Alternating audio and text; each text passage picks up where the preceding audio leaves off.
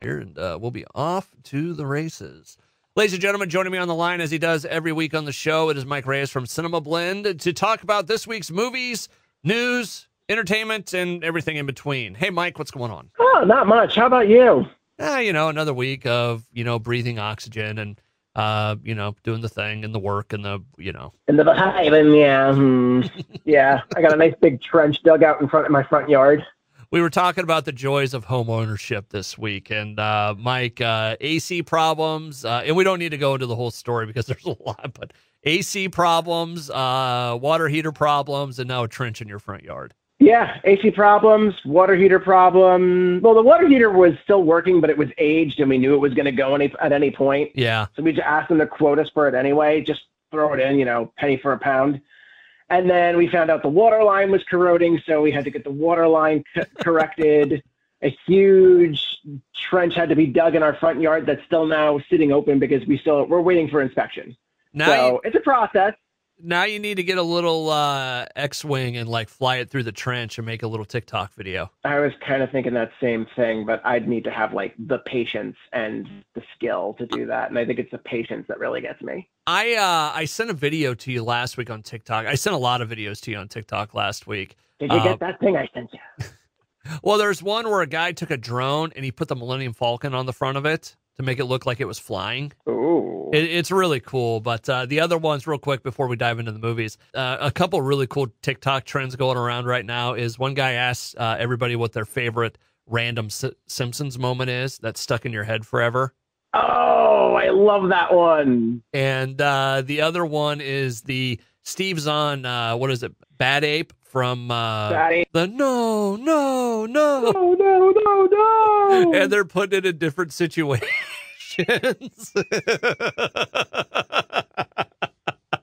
And while they're not all suitable for radio, they have been wonderful things to discuss. No, Although I will Oh, they- say that the, the, the easiest, like most benign one we could throw on the radio is like Abraham Lincoln's ba- uh, bodyguard after coming back from his pee break. yeah, exactly. So, uh, very funny stuff out there. All right, let's dive into the world of movies. Uh, Mike Reyes from cinemablend.com. Uh, kind of a uh, uh, interesting week as not a lot of like blockbusters, I don't think, but uh, interesting movies in their own right. Uh, what's the first one we're talking about? So the big movie that I know of that's releasing this week is an indie film called Ezra. Okay. It's directed by Tony Goldwyn, who some of you might know as the villain from Ghost, but also the voice of Tarzan from Disney's Tarzan. okay. I'm not even kidding. And he also he's uh, he's on Law and Order right now currently. He's the I think he's the new assistant district attorney after Sam Waterston stepped down. Okay. But it's a film about a stand-up comedian played by Bobby Cannavale who has a son with autism, and they go on a road trip because his agent is looking to book him on Jimmy Kimmel. Oh, interesting. Now, is Jimmy Kimmel a part of this? I don't know. We you don't really see him in the trailer because the thing was this this really caught my eye not too long ago watching the trailer. It just looks like a very quiet, dramatic film that actually does have heart to it, and it's when you're portraying neurotypical people on screen, it's very easy to fall into tropes Yeah. and into various uh, stereotypes.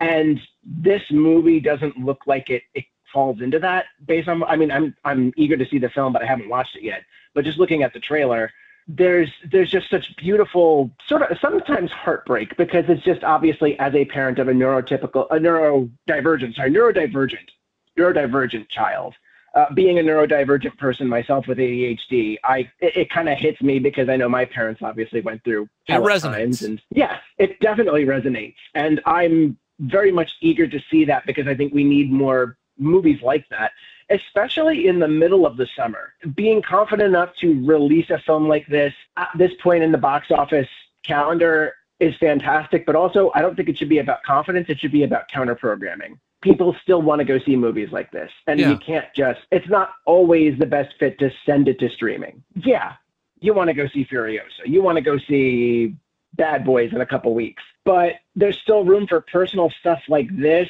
and I'm very interested to see how Kevin Costner's Horizon An American Saga does in theaters. Because the dude put up some of his own money, and allegedly his marriage uh, may have ended because of his dedication to this this project. Oh, can you imagine? Uh, Allegedly. allegedly. I'm not allegedly. some people seem to think that his finances his financial commitment to it might have been a, a straining point. Okay. But I don't know that for sure. All I know is that it looks boss. And yeah. But Huh. going back to Ezra, I'm very I, I am very excited to to watch this because I just and I, I will go to the movies for anything I'm interested in. That's just me. Yeah. And that's that oh that leads into something we actually want to talk about this week. But I'll hold off on that for then. I'll Okay. just say uh, Ezra I believe is in wide release or at the very least it's in like it, might be like a lower the lower end of wide almost to limited no no it's pretty wide because i've got a couple Yeah, we've got it here in uh, we've got it here in the Metro. the tip i would give people when they want to seek out movies like this or even when uh when the mummy re-release came around the bigger theaters like your 24 18 screeners they're Mhm. more likely to have these movies Okay. Like if you just got a five or a ten, they're le- they're they're probably less likely to have it just because space is a premium, and then you of course you're going to have commitments to bigger films that are going to need certain auditoriums, and also just play in the market. yeah. But when you get like a 24, even I want to say it might have been a 13 screener or a 10 screener when we saw The Mummy. It was like a mall theater, and they got it just in the nick of time. Sometimes that stuff makes its way to smaller theaters like that. Okay. But yeah, There you have it. Mike Reyes from cinemablend.com on the line with me right now as we talk about Ezra. Uh, what are the other movies coming out this weekend? It's an anime movie that we don't know much about. Fair to say? Uh, yeah, Haikyuu, the dumpster battle. And I'm going to look that up very quickly because I'd like to at least give a synopsis. Uh, It's a dumpster battle. What else do you need to know? Oh, it looks like it's a volleyball. It's a volleyball movie. Shoyo Hinata joins Karasuno High School's volleyball team to emulate his idol, the Little Giant, but he has to team up with Tobio Kageyama, his former rival. Oh, okay. A new synopsis for non-anime folk that may draw them into this because this is how. Uh, uh, other than me being interested in anime and wanting to see this, there's another angle I thought of here. Okay. What if Maverick and Iceman had to team up for the volleyball game? Oh, can you imagine? There you go. Yeah, the the world of anime is one of those ones where it is like if you're into it and have your flavor of it, you're definitely into it. It's just it's Oh, such that- a that's it right there. it's such a wide wide range. I mean, the easy one for people to kind of grab onto is probably Dragon Ball, which uh, has been around for years and years and years and has been in, you know, tons of different series, tons of different uh, you know, movies and whatnot. I- That's probably the easiest one to digest, but man, you get into some of this stuff and it is wild to say the least. And Dragon Ball itself was also having some pretty solid release in li- uh, solid success in limited release when they released that. Uh, I think it was Dragon Ball Broly. I forget the name Broly. of the film. Um, yeah, Yeah, it Broly. actually just uh, came out on, and I don't know if it just came out, but it was featured on on Hulu, and I started uh, making my way through it. And real quick, for all of you Dragon Ball fans out there, if you've never seen uh, Team Four Star's edition of Dragon Ball on YouTube, go check it out. It'll be one of the funniest things you've ever seen. I'll tell you this right now to your face. It is amazing. What was it again? Dragon Ball Team Four Star. Just search it on so what these guys did, they took all of the Dragon Ball episodes, like starting with uh, Dragon Ball Z, they made it into like little 10, 10 minute clips, and they revoiced all the characters. It is more fun to watch than the actual anime for me. It is.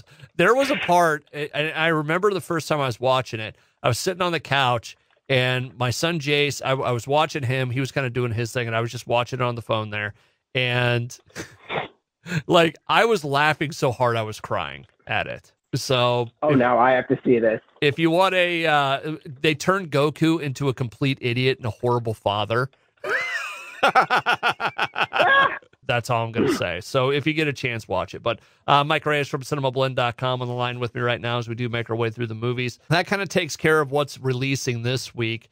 Uh, just real quick, something uh, we kind of touched on uh, earlier in this, and, and Mike and I had kind of talked about it. Uh, what are the trends going around on social media, whether it's on TikTok or you know uh, Instagram or Facebook or you know whatever your flavor is? It seems like there's this idea more and more of people, and and what really triggered this last week was Furiosa and its opening. Um, is the whole idea is it too expensive to go to the movies now in the economy we live in? Is it too expensive? Well, yeah, but that another thing that comes out of that discussion, or another maybe this sort of stems out of this other topic I'm about to mention. Okay, But a lot of people think, oh, the movies are dead. Like Uh-huh. theaters are having a problem. Theaters are dead. People aren't going. You know what's what's going on here? That sort of thing. And then out of that comes the question: You know, why are people going to the theaters? Are movies too expensive? And that is a conversation that has been had time for time immemorial. It is something. It is a hot topic that has been up for debate through many different shifts of of entertainment evolution. I mean, you look at when TV was starting to become a thing. Theaters were worried that, oh no, here comes uh, here comes our death now. Yeah, yeah, yeah. Because uh, if it's on TV, then it's going to be so much easier to to get it there and not have to go to a theater. And then even when VHS was coming up, it's like, yeah, uh, people are going to be able to rent these on video cassette. Why are they going to go to the box office? There is a quote that I'm going to put out from a fellow journalist and uh, Twitter friend of mine, Kristen Lopez, Okay. at Kristen Lopez 88. She is a journalist who has a specific focus on classic films. She's written for Turner Classic Movies. She's actually written, I believe, I believe she's written a book for them. He's writing, she's writing another one, and then she's writing a book on the the creation of Tales from the Crypt. She's doing an oral history about that. So she is someone that is after my own heart, and I give her much credit for all those things. But the thing that she wrote about the whole Furiosa box office problem, and then she had mentioned in reference to all of this, for me, as a classic film fan, the doomsday about the death of movie theaters has always been present. And then she goes into historical uh, accounts of studios thinking that movie theaters are going to die. What do we do?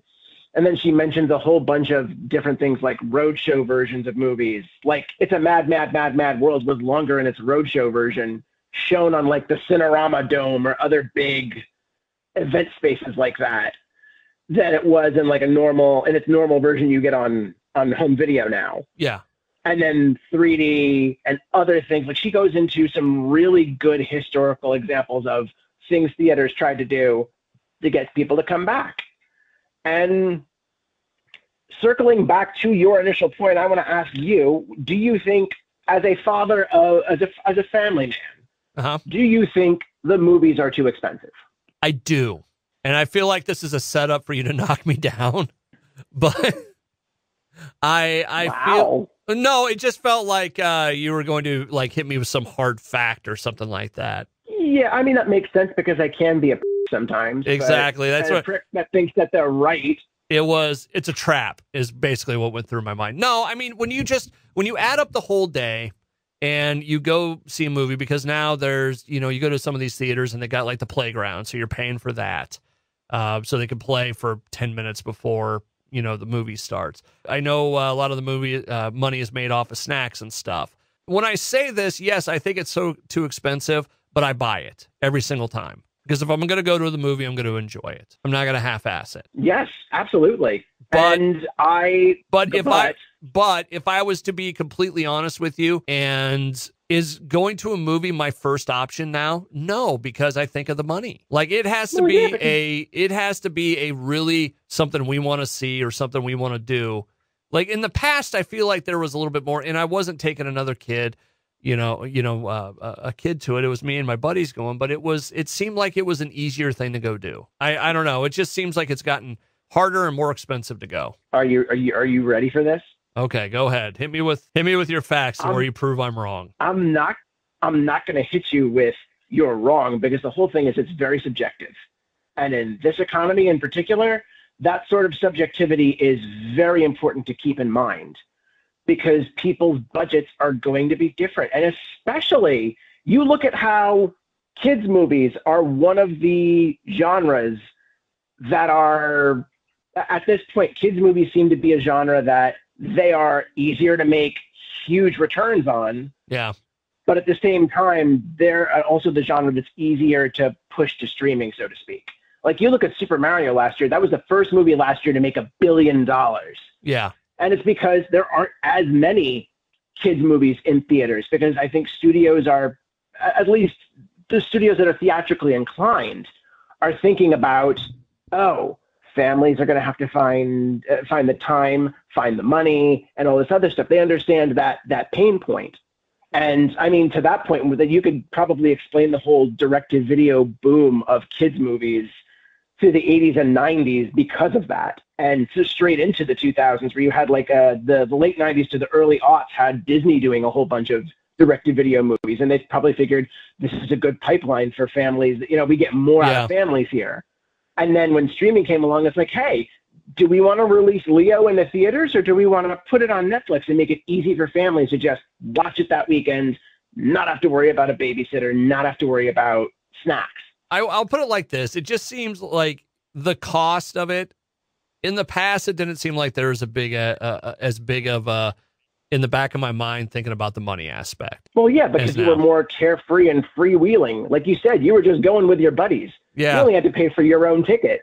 And you probably didn't have to worry about balancing so many other expenses. One of us would and always I mean, buy just... tickets, or somebody would buy the thing. We it, it, we didn't not spend money at the theaters. So, but yeah, well, there you go. Someone ponies up for the arcade games it's it's one of those conversations that you know you kind of pointed out with your uh, your your friend's uh, uh, uh book and all that, and the research she's done. Uh, this has been going on for a long time. It's going to go on for a long time, and I don't I don't feel like it's one of those things that's ever going to change drastically. Like I no, I mean we or I should say this: I don't ever think that I will be in the. I, I, don't think it'll ever change in the way of man. It was so cheap to go to the movies last night. Boy, that was the yeah, cheapest thing I mean, we've done in a long time. You know. I mean, I've talked with theatrical exhibitors and uh, for other several different interviews I've done. And I talked when I was speaking with one of them for the story about how Godzilla minus one success was a shocker or like just a welcomed surprise. Uh, I, I just mentioned, you know, offhandedly to each of them as a joke. It's like, well, you know, there's a closed 24 screen movie theater over here. If your company wants to build it, uh, buy it, I'll like help you run it one of the exhibitors when I said that was like, "You're not going to see 24 screeners anymore." It's just it's an interesting conversation. I it, like we said, I don't think it's one that we're going to solve right now. I think it's one that we could go back and forth with. We'll see what happens with it. I just it's interesting that it pops up from time to time. Uh, especially when a movie like Furiosa, where you think it's going to be awesome, and all of a sudden it's like, oh, that didn't go well. Oh no! Yeah, I, Oh no! but but meanwhile, Apes is still chugging along in theaters. Godzilla Kong did really well, and it's you know it might be just another market shift. Yeah, we are still in the middle of a market shift right now, where certain types of movies may not be hitting as well as you once thought, and we may be running the well dry on certain things. But uh, and I just remembered I do actually have a movie to talk about this week. Oh, you do what? Uh, in a violent nature. Oh, what was that? So it is an indie horror film uh, that is being released and wi- it is being sent out in wide release, unrated. Oh, this is the first time I can think of since The Aristocrats in 2005. I want to say that a movie has been released unrated. The only difference is the aristocrats was all for language. In a violent nature is a very bloody, well, it, it is a very intense horror film when it gets to the blood and guts. Okay. Basically, we are from the we're following from the viewpoint of the killer, and we're following them stalking their victims and eventually killing them. Okay. And there is one. I I got to speak with writer director Chris Nash, who is behind this, and if it helps you, uh, it helps inform how twisted of a man this is. He is a, a prosthetic special effects uh, wizard. And I think that's part of why he loves to push the bounds of what a human body can do on screen. Oh, okay. So did we like it? Oh, yes. Uh, what if you took Friday the 13th, followed Jason, no music at all except for like whatever sound or whatever music his, his victims are listening to in a scene. Okay. And then it's shot as beautifully as like an independent movie like Terrence Malick or like uh, just beautiful countrysides and and full daylight in with some of these kills. Yeah. Like this is it is an hour and a half. It is short, it is brutal, it is intriguing. I dug the hell out of this movie and I got I got to screen it on my computer, and this is another thing about the theater experience, which ties in perfectly. I want to go see this again with a crowd. Okay. I want because there were stories that came up before my interview where the Chicago critics, uh, the Sh- Chicago Critics Society, were doing a screening of the movie, and there was audio that was leaked on the social media where you heard them during a scene, and I don't know which scene it was, where they're like gasping and reacting, and then at the end they're all just applauding. Okay. All right. Then. What was this thing called? In a violent nature. And, and well, really funny story. Talking to Chris Nash, I was like, "Oh, I noticed that your movie was originally called Sleeping Animal because that they said that that was the original title in the script." And I was like, "What made what made you decide to change the title?" And he's like, "Well, when we were going to look for investors, one of them just came up to us flat out and was like, "That's a horrible title. I shouldn't be called that." And then his producers went to him and was like, "Well, do you have any other title ideas?" He's like, "Not really. I mean, I guess in a violent nature." And they're like, that's the title. That should have been the title the whole time. That's a great so title. It is because, and we were also talking about when we talked about the uh, the unratedness of it. I was like, you know what, it, you missed out on some wonderful chances for ratings descriptors because you always have that classic one where it's like scenes of a violent nature, and he's yeah. like, yeah, well, this is kind of a play on that because it's like in a violent nature, and it's also a play on the fact that it's in nature and this guy's being very violent. All right, everybody, so, let's have a let's have a smoke. In a violent nature, dear listeners, find it, see it, and enjoy it. And if you don't find it in a theater, or if you do want to wait for streaming, Shudder's going to have it. Okay. Because Shudder, this whole thing with IFC Films and I don't know if it's IFC Films and Shudder or just Shudder partners with certain people, but Shudder has a great partnership where uh, they'll send a movie to theaters it'll get like a decent wide release platform and then it'll go to Shudder like maybe a month or so after. Okay. And th- it's just like Late Night with the Devil, which was also spectacular. There's there's good horror movies coming out here. And this one being unrated, I would get in on history while you can, folks. Mike Reyes from cinemablend.com on the line with me right now as we talk about this weekend's movies, yesterday's movies, and everything in between. Um, diving back into the world of movie news and all that. Uh, a couple cool. I know, uh, it kind of sucks to just go back to the normal grind when it's like unrated horror movie metal as. Oh, no, I want to see that. No, it's just one of those. It's just uh, making this uh, make sense for the people at home. Um, real quick, a couple trailers came out this week, and one came out right after we talked last week. Uh, we got trailers for Moana 2, The Bear Season 3, and Beetlejuice. Uh, Beetlejuice, the second one, Beetlejuice 2, yeah. which is Beetlejuice. Ah, Beetlejuice. Here he comes. There you go. So, Ladies um, Michael Keaton on the show. Do we need another Moana movie? Peace out. I like what you're doing to place. um, okay. So the whole thing with Moana 2, I'm on the fence. There's definitely room for stories. There is absolutely room for more stories with this approach that Moana 2 is seeking, from what I've read, is the whole. There was the whole angle where like her tr- her people were separated from like other tribes by the water, if I remember correctly. Yeah and now they're starting to reconnect with those people. So that's another reason to go beyond the shores. And it's not just going to be her. Like I think her family is coming along with her on this journey. And of course, Maui comes back. Uh, I think that's the part I don't want. I don't like Maui. I'm I'm just tired of the Rock at this point. That's fair. I as much I, as I like the man, I it's burnout. It, he's very burnout to me. I just got off of having to watch him do all the, which they made a very very intelligent turn in uh, WWE with him and what how they used him and all that. But I'm just like, God, I don't need another Rock movie. Different, uh, you know, stories about him on set that have been kind of coming out, and some of the lies he's been telling on, or alleged lies he's been telling on social media. I just, I, I don't need any more Rock. That's where I'm at. I can kind of see that. I understand that because there's been plenty of people that have burned themselves. Some people think Ryan John, uh, not Ryan Johnson, Ryan Reynolds is another person that's sort of like burned themselves out with overexposure. Like I, I get that. There's some people that really do hustle, and you know, we're. I'm going to bring it back to one of our uh, commonly cited phrases: "How can I miss you if you don't go away?" That said, I'm still interested. You've got Auli'i Cravalho coming back as Moana. You've got Dwayne Johnson coming back as Maui.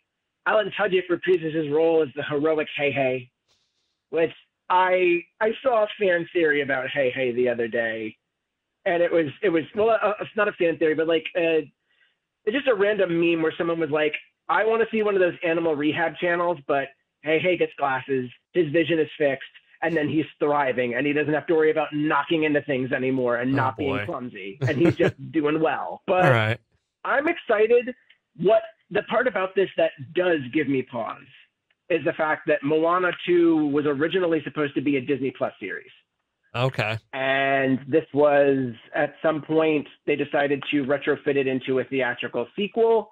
And the last time I remember a Disney movie taking a TV show and turning it into a movie sequel was Atlantis Milo's Return, and that was horrible. and I still am hurt by the, that decision personally.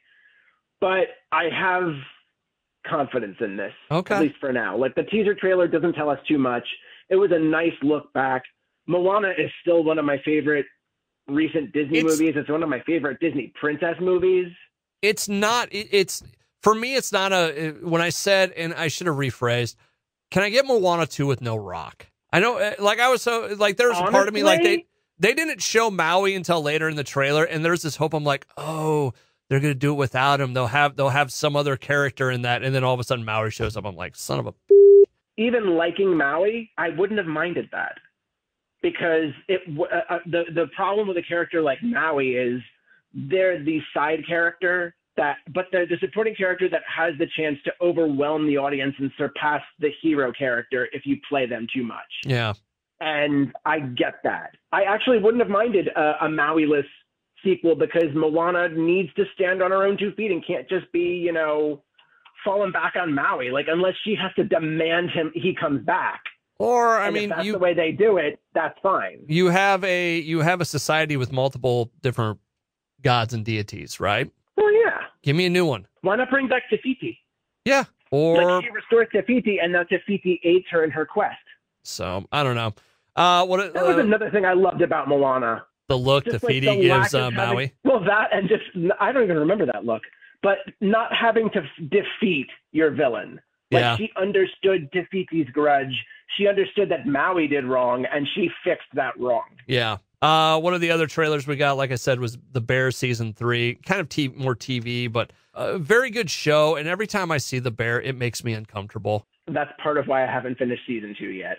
It's it's one of In those things like there are arguments in that show and things that they fight over and that I deal with in radio. I'm not saying it's, you know, the same thing, but it's like it's enough where it makes me uncomfortable and I don't want to watch. Like I'm sure it's going to be awesome. I I absolutely your- think it's going to be awesome, but is there a part of me that's like, you know what, if I just skip it, I'm I'm okay with this. So two things. I need to get back to it because once we got past, once we got to fishes, the the Christmas dinner episode Yeah. with all the guest stars, that was the point where it's like, okay, we're taking a little bit of a break from this because that's where it got. It's such a good show, but it is so punishing at times and yet so uplifting. It gets the real is- real real quick. Ah, real real real quick. With the new trailers for season three, I'm really worried about where Carmy's going to go. Yeah. because of the fact that the kitchen for the bear looks like the kitchen he was in with that chef played by Joel McHale Yeah. in season one, where we see the flashback that made him basically burn out and like spiral and quit. Like, I'm afraid he's gonna. I, I, well, I feel like they're gonna bring that up again. But what I'm thinking will probably happen is he'll confront it in some sort of way that it'll be different. Like this is, I wouldn't be surprised if this might be the last season no one said anything to that point, and I'm sure they really weren't. I don't even know if they expected to get to season three. Like, who really does in this economy? But I think that if the, season three might be a great way to sort of put some of his own demons to rest, while also maybe introducing some new stuff and also new elements. Like, I like the fact that he made Sydney partner. Yeah. And that's another thing that's going to be interesting. Is Sydney going to turn into another Carmy? Is she going to flame out? And is he going to become the chef? I love this show. I love this show because it reminds me of character driven movies from the 70s where it's like, this probably would have been an Al Pacino movie in the 70s.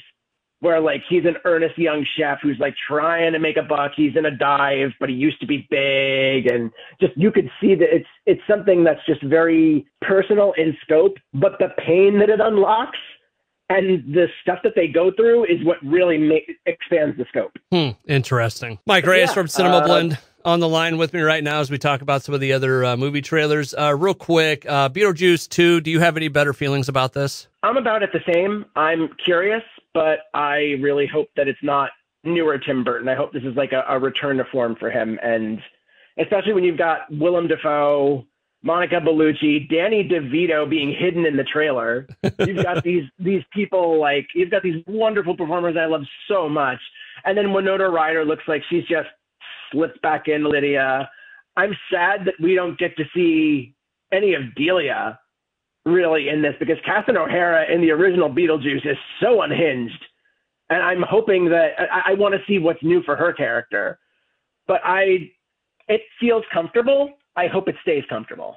All right. Mike Reyes from Cinema Blend on the line with me right now. Uh, real quick, I want to wrap up with the Deadpool stuff, if that's cool. Uh, okay. Uh, do you mind if we throw in Travis Kelce? Because I'm sure you got football fans out there. Uh, yeah. It looks like he's going to be in a movie. Well, there's a rumor saying that he's being considered for Happy Gilmore too. Okay. What? And he's like, because he and his brother were out in Hollywood taking meetings and Arnold Schwarzenegger was even like, ah, these, these dudes are going into acting now. I know how this game is played.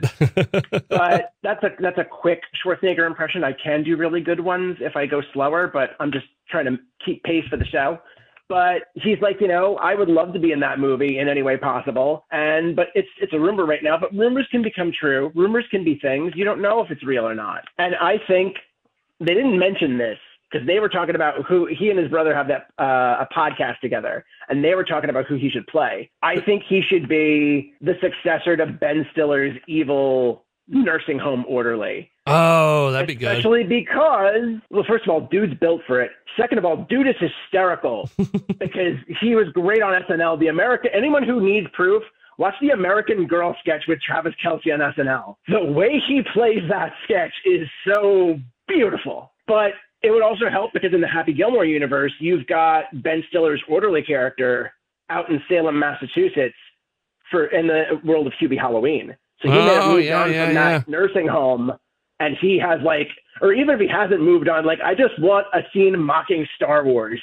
where it's like Ben Stiller shows up in like robes or something, and you've got Travis Kelce kneeling kneeling in front of him, and he's just like, "This man has been a great disturbance to me. His grandmother was a pain in the too. I need you to take care of him. Oh, and it's just funny. like Travis Kelce is like the Sith apprentice to Ben Stiller. Travis Kelce, hire me. Mike Reyes from Cinema Blend. Oh, real quick, what was the uh, Knives Out? Who did they get? Jeremy Renner is now part of the third Knives Out movie, which now has a title, Wake Up Dead Man, from uh, a U2 song. And you've got Jeremy Renner, Glenn Close, uh, Andrew Scott, who was also in Spectre with Daniel Craig, uh, Cailee Spaeny from Civil War, uh, Josh O'Connor from Challengers, Kerry Washington from Scandal and Django Unchained, and of course Daniel Craig coming back. Rian Johnson's writing and directing again. It may be a more serious film this time, and that's what he's been teasing. And it will be out at some point next year. They're looking to start shooting this summer, and this is a cast that over the past couple days have just been dropping banger casting choices, but I still agree with the theory that they should bring in Timothy Dalton, George Lazenby, and Pierce Brosnan, so that way Daniel Craig can face each of his Bond predecessors that are still living suspects. See, I still want to see him do uh, the the the the girl from the one show. Poker Face? Yeah. Oh, I would love to see a Poker Face crossover, but Glass Onion kind of established that Poker Face exists in that universe because Benoit Blanc was having that Zoom call with Natasha Lyonne, Angela Lansbury, and uh, Stephen Sondheim when they were playing Among Us. I know. I just, uh, I ever since I had that thought, I was like, man, I would love to see them do a uh, crossover. I would just love to see Daniel Craig play like a villain of the week on Poker Face and just have him play something so different, like not just a Southern gentleman because he's done that so much between this and Logan Lucky, but like just cast him as like something so wildly unlike himself that he's done that just the man likes to stretch. Let yeah. him stretch. Uh, Mike Reyes from Cinema Blend on the line with me right now. As we wrap up, I do want to hit the Deadpool thing real quick because I don't think it'll take long, but uh, a lot nah. of as we get closer and closer to that movie coming out, there's a lot more rumors coming out about leaks and you know what's going to happen and all this. The craziest one I've seen, and I just want to bring it up. Not that I think it'll happen or whatever, because you know how many how many times did we you know think, oh, we heard this about Wandavision or some of these other movies. But anyways, coming. Yeah, exactly. Uh, the one I will say uh, that I saw, I'm like, oh my god, but.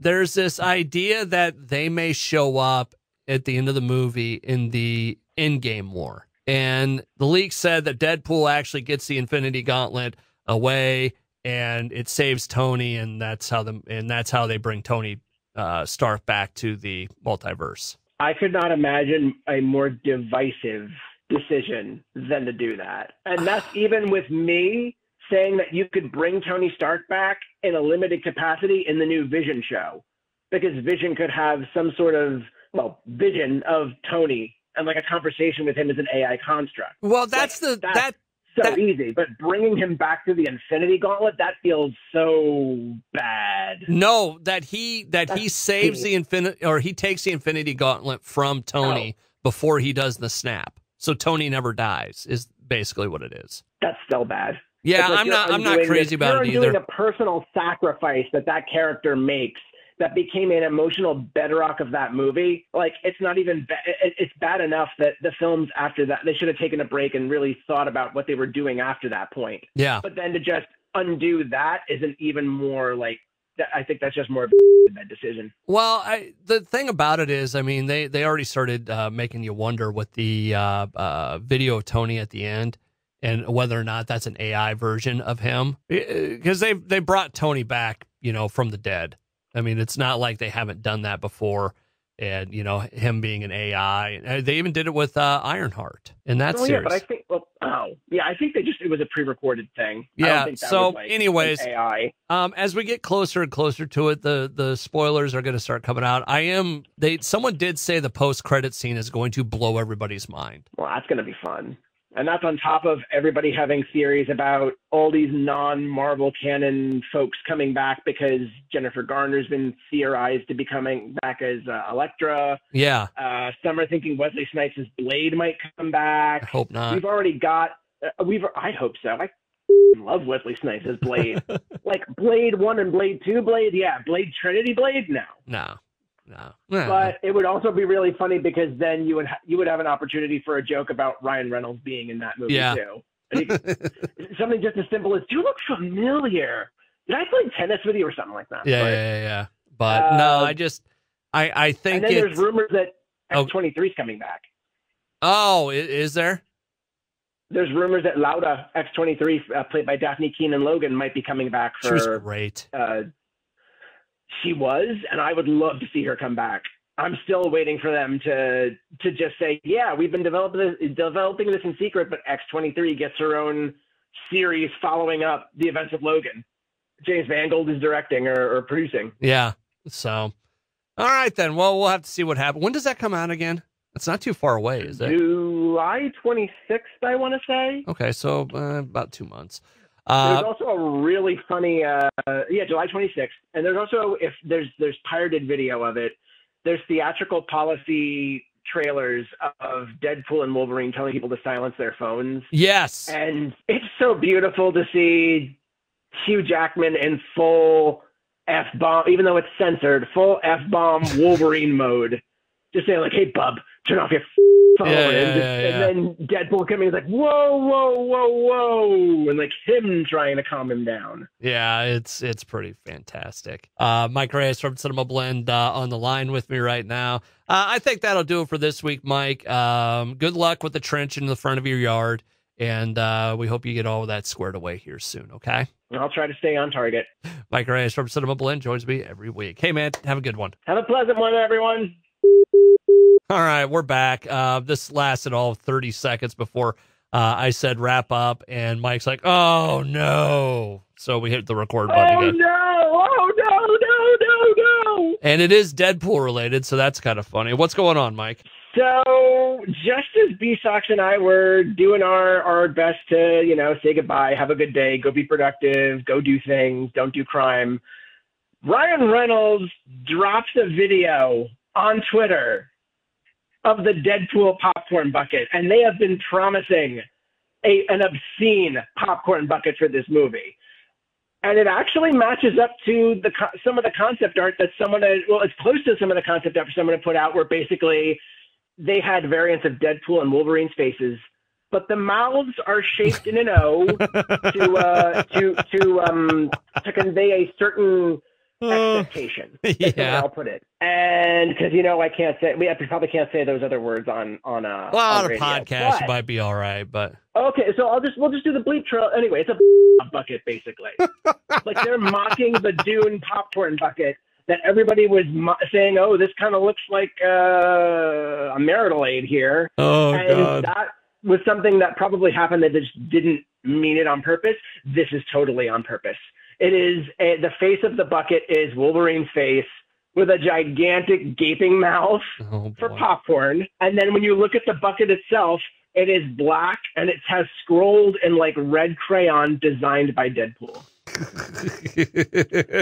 I think I may have to buy my first popcorn bucket because this is too funny to pass up. oh, that's wonderful. Mike Reyes from Cinema Blend uh, joins me every week to talk about movies, popcorn, and buckets. Mike, you have yourself a great weekend. Hey guys, keep it handy. All right.